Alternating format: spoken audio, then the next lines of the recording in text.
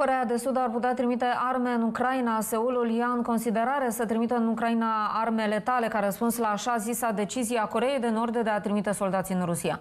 Corea de Sud a condamnat prompt această mișcare și se teme de o eventuală recompensă pe care Corea de Nord ar putea o primi din partea Moscovei. Seulul pregătește mai multe măsuri de sprijin pentru Ucraina după ce Corea de Nord a anunțat că va trimite soldați pentru a întări rândurile armatei Kremlinului pe frontul ucrainean, potrivit unui oficial al biroului președintelui sud-corean. Printre acestea s-ar putea număra și furnizarea de arme letale Ucrainei, asta în cazul în care situația de pe front se înrăutățește.